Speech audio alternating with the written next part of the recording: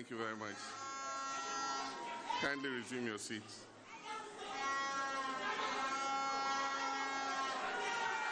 Thank you.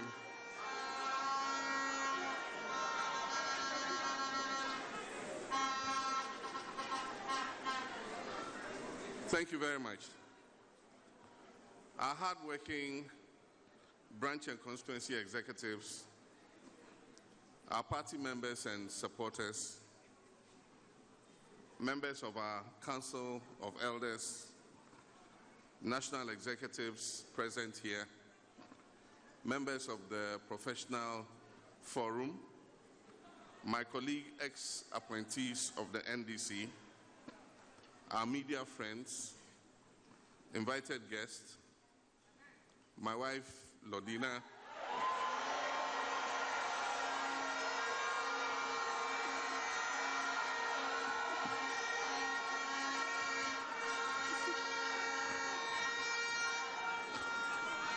and my son Sharaf, who has accompanied me here.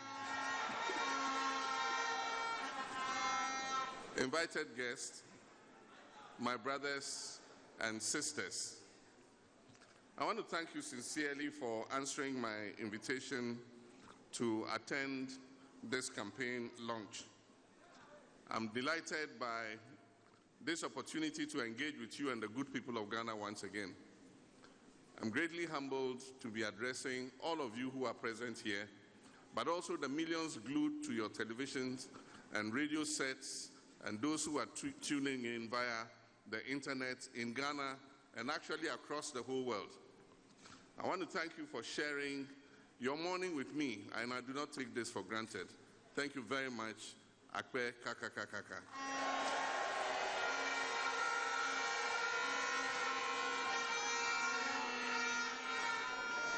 As I drove onto the campus of the University of Health and Allied Sciences, popularly known as UHAS, which was built during the tenure of our great party, I could not help but feel a sense of fulfillment that the dream and vision of our late president, Professor John Evans Atta Mills, has been actualized in a very beautiful way.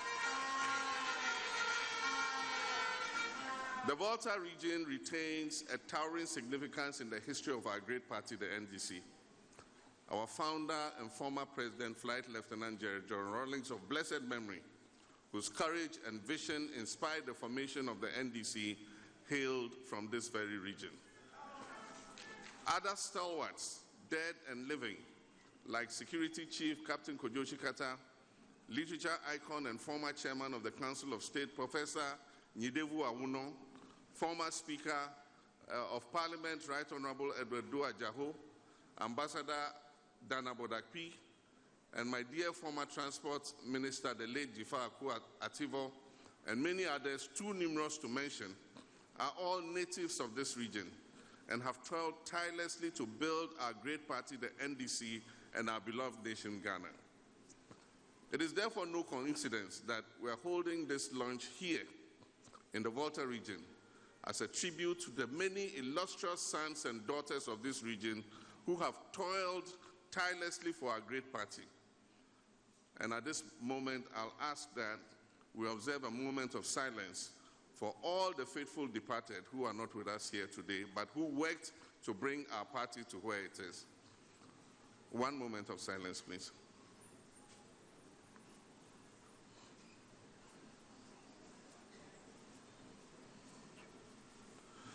May their gentle souls rest in perfect peace. Amen. There was an English romantic poet called Percy Bysshe Shelley, who in 1817 wrote a famous poem titled Ozymandias. I'm sure several of you would have read this poem. This poem was a cautionary tale about a ruler who was so full of pomp, arrogance, and a deluded sense of self importance. One is struck by the poet's description of the clueless ruler as he goes on to boast My name is Ozymandias, King of Kings. Look on my works, ye mighty, and despair. Unquote. Tragically, according to the poem, when one looked around to see these so called works, one saw nothing but sand and decay. The poem mirrors our present national circumstances in a very uncanny way. Fellow countrymen and women, my brothers and sisters, I wish to thank Professor Joshua Alabi, the convener of the John Mahama Campaign Committee, and a former Vice Chancellor of the University of Professional Studies, Accra, and who was my co aspirant in the 2019 presidential primaries.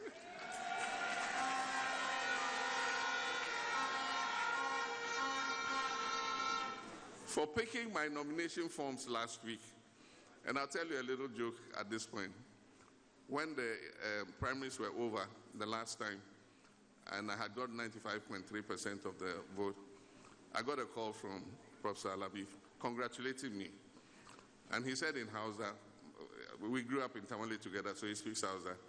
He said, Oh, this little play we're playing, look how you have disgraced us.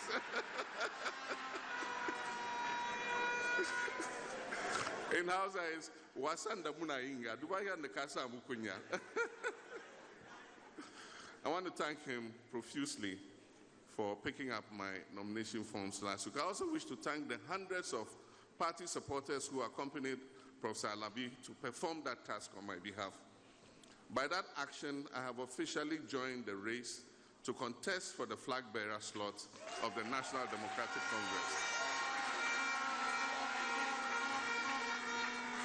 For the 2024 elections, which are considered to be the most important and defining poll of our time, I've not taken this step lightly it has been the product of months of prayer, broad consultation, and sober reflection. I've searched my soul and placed close attention to your voices, to your daily struggles, and to our present national predicament. At this stage, Ghana demands experience, not experiments.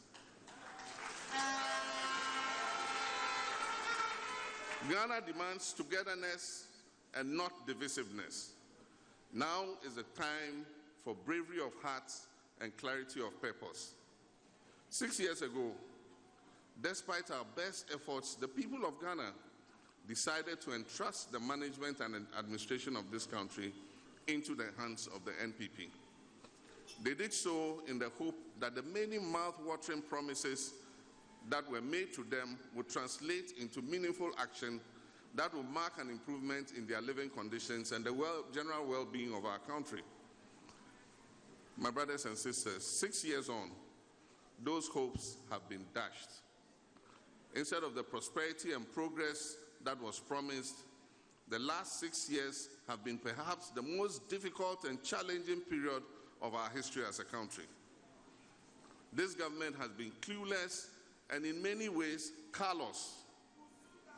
The unthinkable has happened, and our country today is broken on all fronts.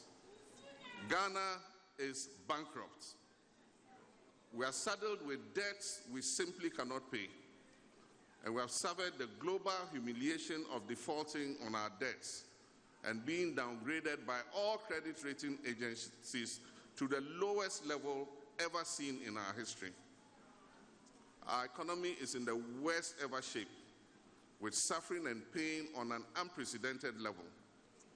Hyperinflation and ever increasing price of basic items, including food products, have all combined to inflict unbearable pain on millions of Ghanaian households.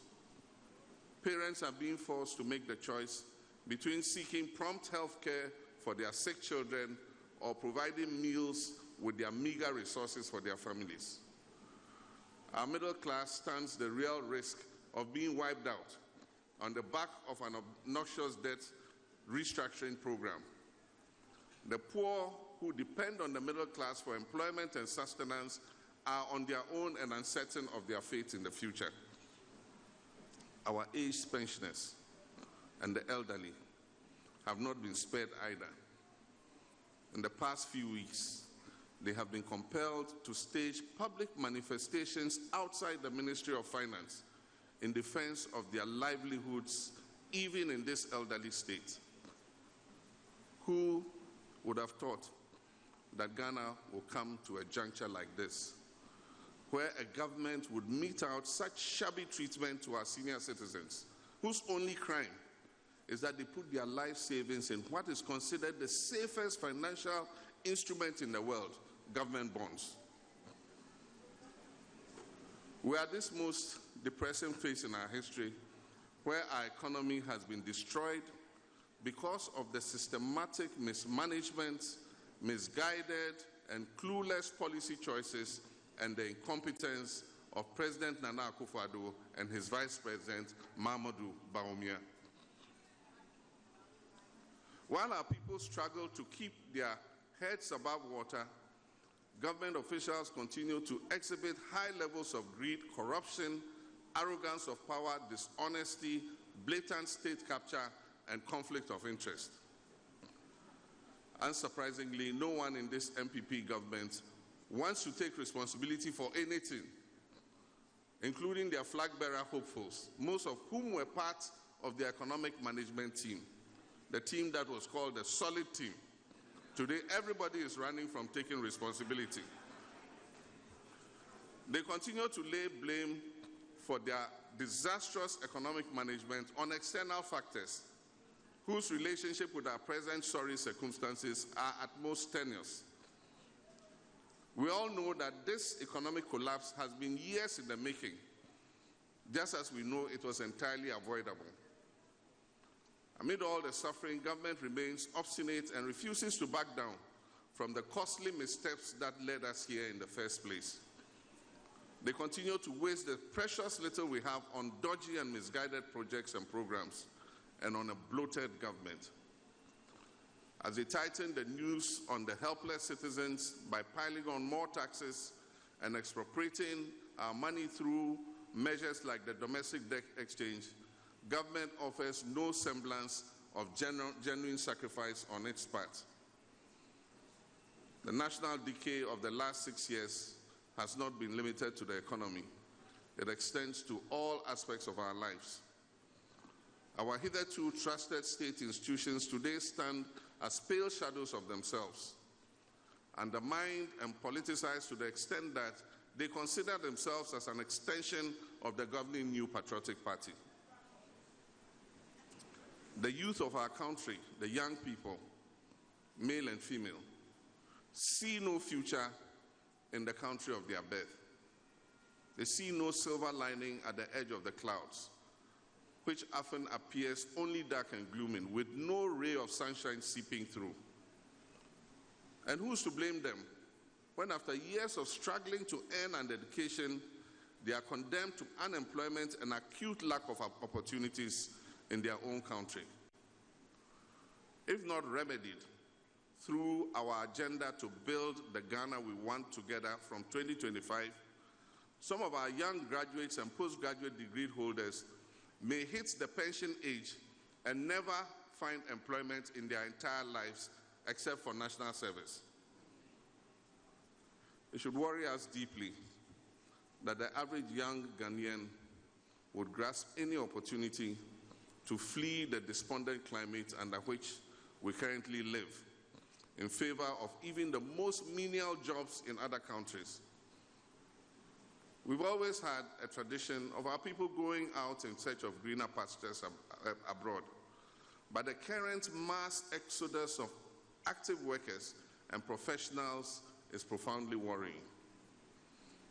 The loss of all hope that anything good can come out of this country or that any available opportunities will be equitably shared amongst our people is what accounts for this. For some sections of our population, the unraveling of our national fabric and the collapse of our economy under this government form sufficient basis to dismiss all public office holders and politicians, both in government and out of government, as being the same. Some have lost all hope in the democratic process and believe that democracy is no better than other forms of governance. Ladies and gentlemen, these are the predictable effects of the betrayal of the people's trust by the president, his vice president, and his crop of leading officials. I wish I could say this in a more pleasant way, but you are the better judges of our current reality. Our present state and its effect on our people trouble me a lot. And this is why, as you have observed, at every significant wrong turn or decision taken by this government, I have, with the benefit of experience I have acquired, provided alternative solutions and even offered the expertise and knowledge of some of my party colleagues to help get us out of these challenges. And this is because there is an increasing gap right now between the Ghanaian society and the, Ghana, the Ghanaian political system. And it is one of these reasons why a change has become absolutely necessary at this particular time. Of course, I know how to deliver that badly needed change.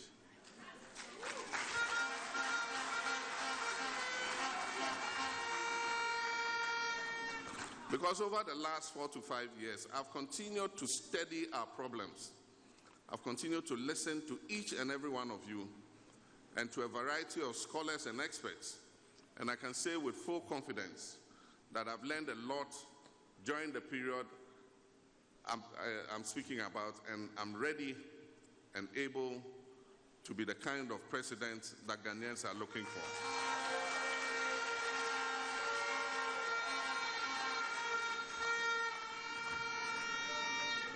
In our present situation, it is no longer sufficient to sit on the sidelines and offer suggestions which are most often ignored.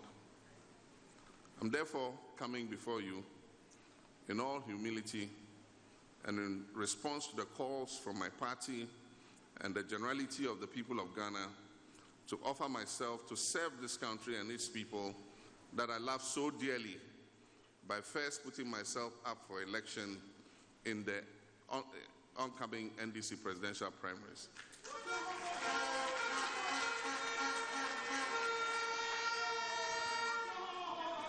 There are many who say that my words just before I left office in 2016, that posterity will be the judge, have proven prophetic. In the face of the abysmal performance of the NPP government and their harrowing dismantling of our country's prospects.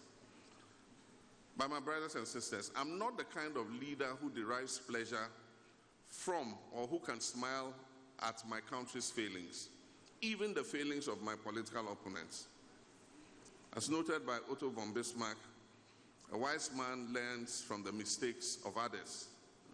As far as I'm concerned, there's no vindication to be derived from the suffering of the Ghanaian people.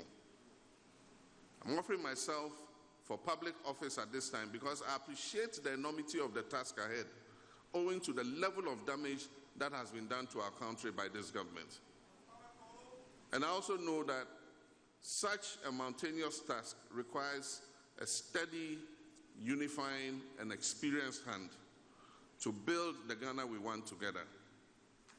And as I said, this is no time for experimentation. Ghana at this time does not need a try me to leader.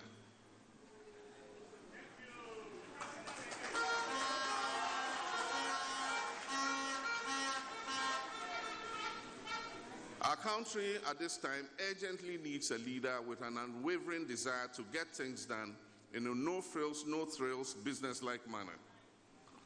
Not one enamored with sloganeering, excessive partisanship, personal comfort, and shallow populism. Ghana's next leader should exercise sound judgment and be able to make the right calls at the right time. A leader who accepts responsibility and works to fix the problem and not one who shifts blame onto others. The leader should be one whose heart is filled with compassion for the people and who has the humility to connect with and understand the needs of the people he serves. Our country requires a visionary leader who will build a prosperous and progressive Ghana for all Ghanaians and not just a few family and friends.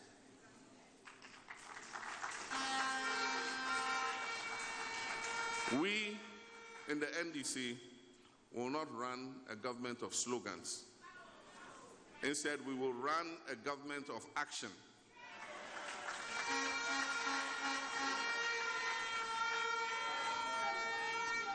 As a leader, you should be held accountable for your promises to the people.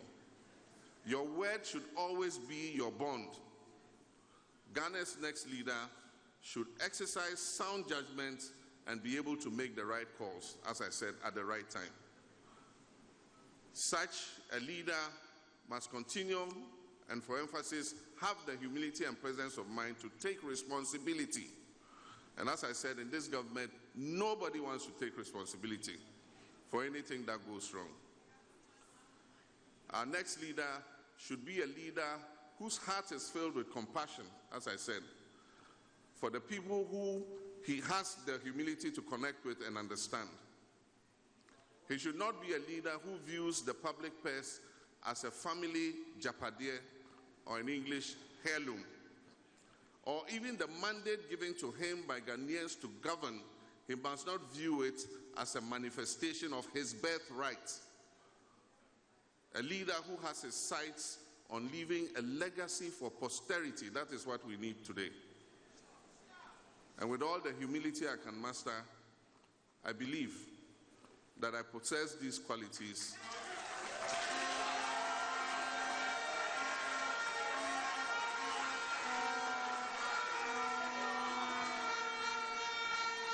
that I possess these qualities and that I'm uniquely placed, having sat back the past few years to take stock of our country's trajectory. I'm aware of the extent of work that awaits the next government. There's so much to fix, there's so much to repair, and there's so much to heal. But I'm set and ready, very ready.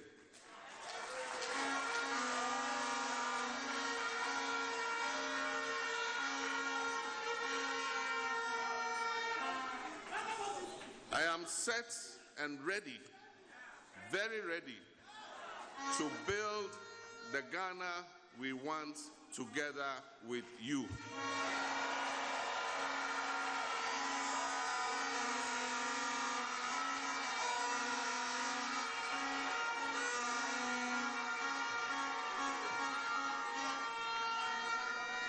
Our mission as the NDC is to get out of the current nightmare and to get out of it together, reaching to one another, listening to one another, and providing hope for all Ghanaians.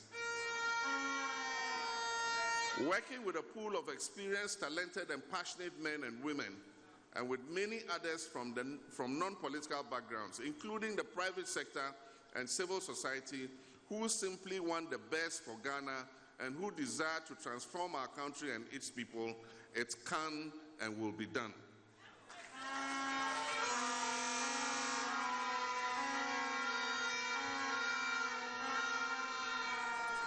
The first order of business will be to reset our country to its default settings, as envisioned by the founders of the Fourth Republic. A nation of peace and prosperity built on the principle of integrity, justice, and equity, respect for human rights and personal freedoms. A leadership of modesty and humility that forges consensus and carries the people along in the implementation of its policies and programs. At the top of our priorities as the new government in 2025, God willing, inshallah,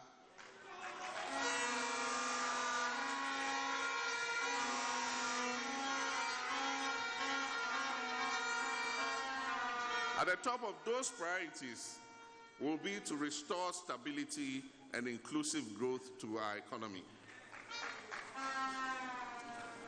This way, we'll, oh, we'll, we'll do this by bringing the various indicators under control to relieve Ghanaians of their suffering. We will strictly enforce prudence and responsibility in the management of public finances by cutting out waste and ostentation, which have become a common brand under this administration. Together, we will build the Ghana we want. We shall restore faith in our almost collapsed financial system and embark on sweeping reforms at the Bank of Ghana. We shall actively pursue policies to ensure robust local participation in our banking, financial, telecommunications, mining, agriculture, agribusiness, and manufacturing sectors.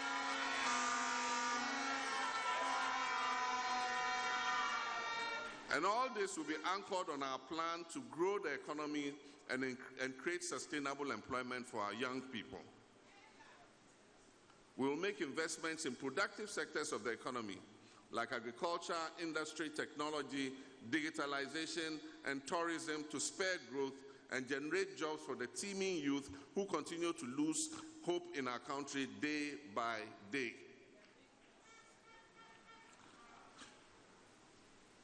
My brothers and sisters, my comrades,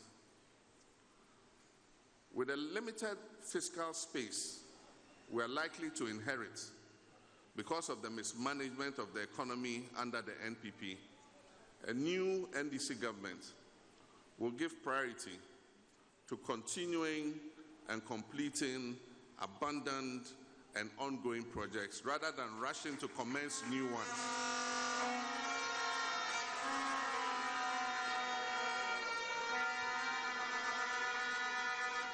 We shall not rush to commence new projects. We'll take an inventory of all the abandoned and uncompleted projects in this country, and we will focus on completing them.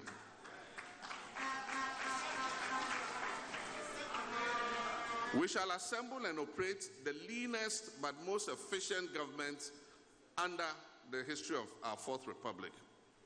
We'll reduce significantly the size of government. And as announced in my speech at the UPSA late last year, in a crisis situation like this, it is my belief that this country can be governed of, uh, efficiently with 60 ministers and deputy ministers.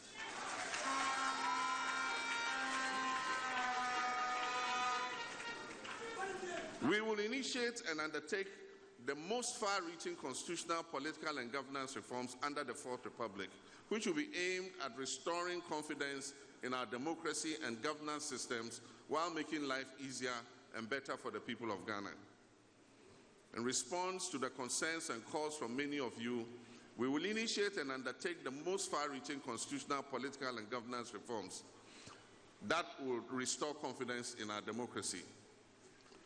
We'll continue and bring to con- conclusion the constitutional review process that was begun by the late President Atta Mills, which will include a review of the controversial Article 71 to reduce the number of office holders under Article 71 and reduce the disparities in privileges and emoluments vis a vis the public sector and civil service.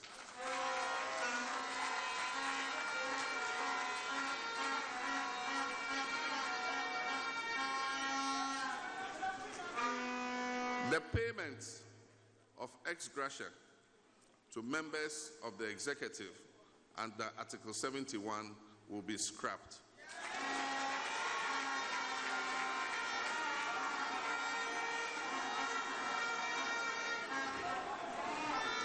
And the necessary constitutional steps to abolish that payment will start in earnest in 2025.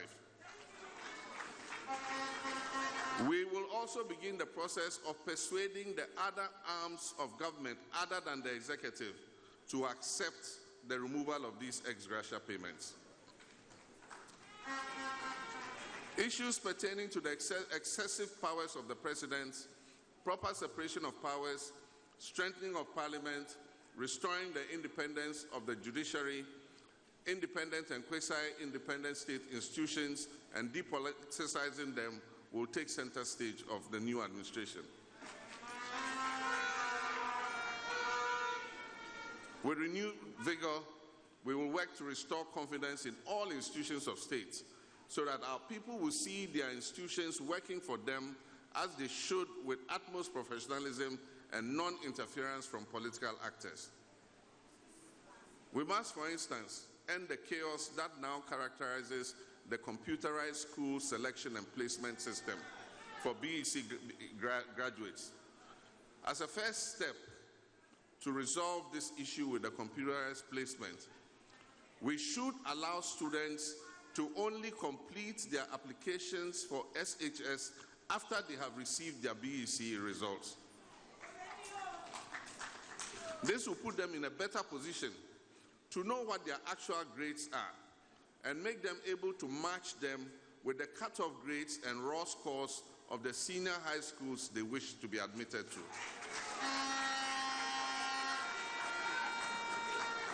This will moderate expectation, ensure effective demand based on real results, and address the uninformed demands we currently see.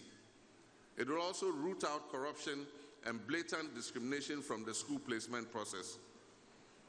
Fellow councilmen and women, the time has come for Ghanaians to receive proper accountability from those they elect to political office.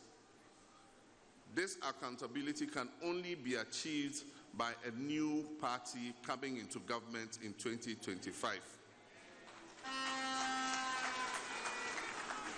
I promise Ghanaians that we shall investigate how public funds have been expended.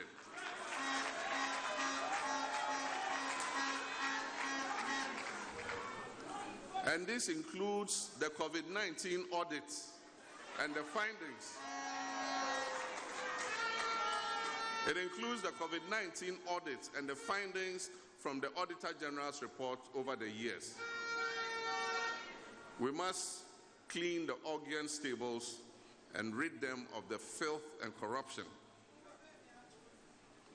The anti corruption institutions will be given unfettered access to do their work. The days of the infamous clearing agents will be well and truly over.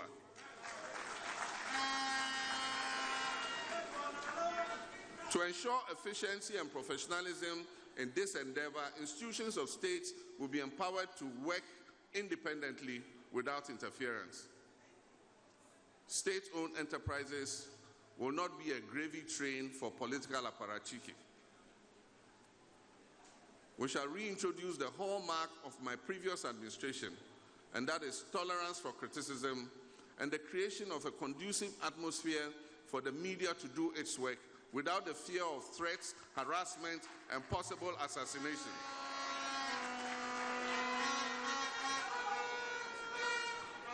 My brothers and sisters,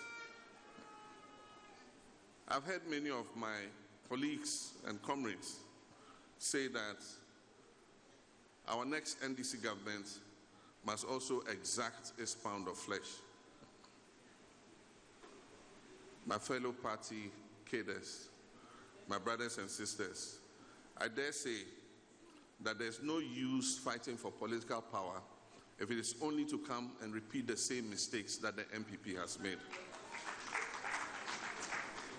We must therefore engage our grassroots to work together with us to build the Ghana we want. To be able to achieve all the above, we must see different personalities and backgrounds only. We must not see NDC and NPP. We must not see Ghana or Ewe or Akan or Dagomba. We must not see different religions, Muslim and Christian and traditional religions. We must look to ourselves and we must see Ghanaians as one people united with one destiny.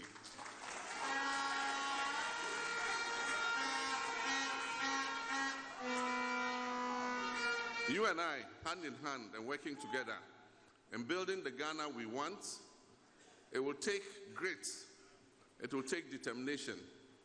But we have what we have not had before the benefit of hindsight and reflection from afar, and the benefit of experience to improve upon our successes and avoid our previous mistakes. As we roll out my campaign for the flag bearer slot of the NDC, and subsequently during the national campaign, I'll engage as many of you in the public as possible and interface with various interest groups to tap into your views on how to fashion the Ghana we want. As observed by Aldous Huxley, experience is not what happens to you, it is what you do with what happens to you. In the coming days, as we go around, we'll be having conversations about our country. But more important, we must put into action the plans that we would conceive together. It will not be easy. It will take determination. It will take grit. It will take tears. It will take sacrifice. I promise you that I'll share that pain and sacrifice with you. And above all, I promise you hard work.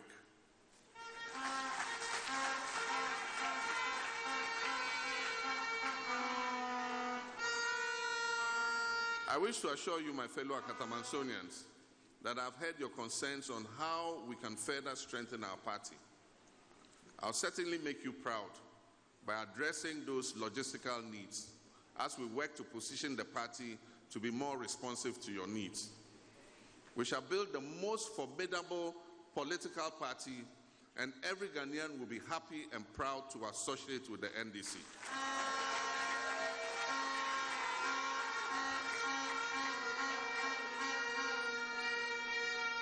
Remember that in the history of the Fourth Republic, it is the NDC that has provided the most roads, water, electricity, educational, health, telecommunications infrastructure across the length and breadth of this country.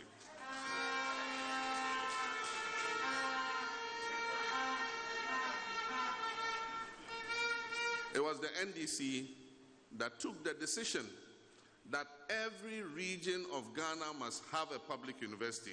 And that is why today we have University of Health and Allied Sciences here.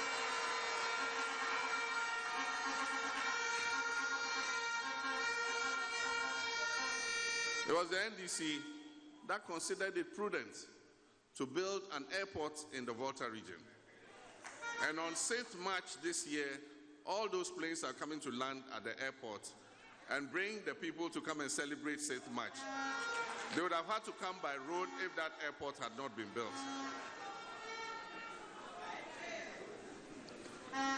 Ladies and gentlemen, too much has happened to us as a people, but we have a duty to ourselves to learn from history and chart a path accordingly. And I'm giving you a quote from uh, President Ronald Reagan. He says, The greatest leader is not necessarily the one who does great things, he is the one that gets the people he leads to do the greatest things.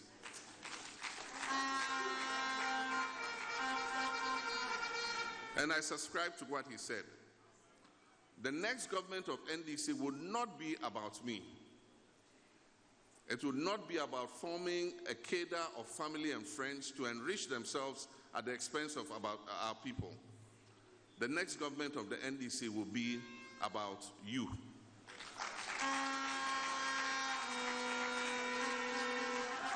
In all humility and with a rekindled spirit, renewed energy, sharpened vision to help save our dear country, Ghana, I formally announce to you my candidacy for the presidential primaries.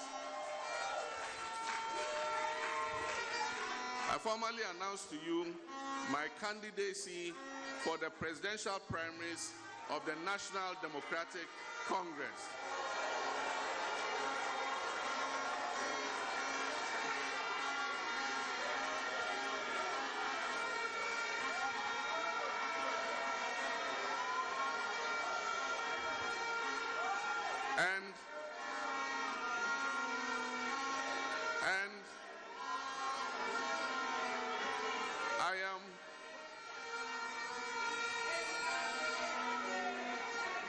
Thank you, pardon me. Thank you, thank you, pardon me. And I'm proud and honored that our NDC family, young and old men and women from all over the country, are standing firmly behind me.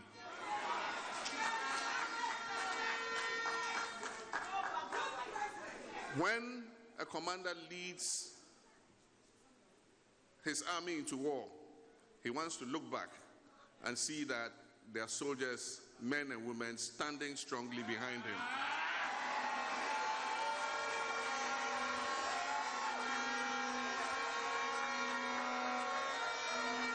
I feel humbled by your love and I hope you all know that I love you too.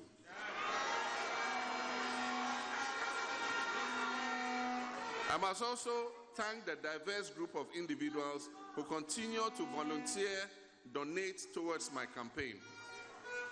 Some of you, students, professional traders, Okada riders, among others, concerned drivers, voluntarily set up platforms to mobilize funds to support my campaign.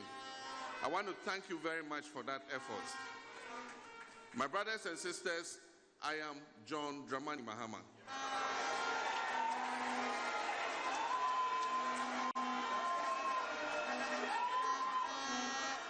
Your proven servant leader. And I ask you to bless me massively with your trust and your votes on May 13th and subsequently on 7th December 2024.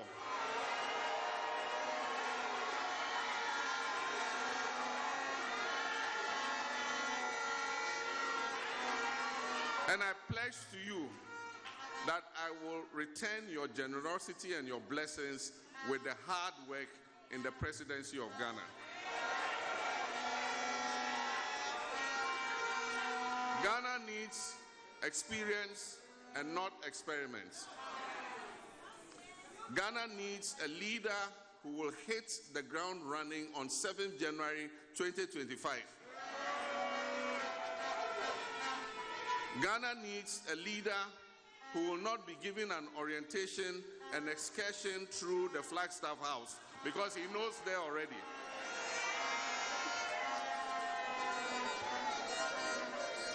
Ghana used to be the shining light on the continent of Africa, and I'm of the strongest conviction that we can attain those heights again. I believe it, and we will lead by example. And as I conclude, I wish to thank my wife, Lordina.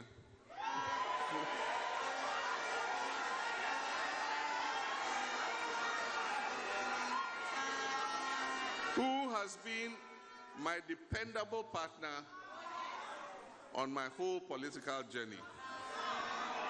And I wish to thank all of you, and may God bless the NDC, may God bless the Republic of Ghana, and may God bless us all. Thank you very much.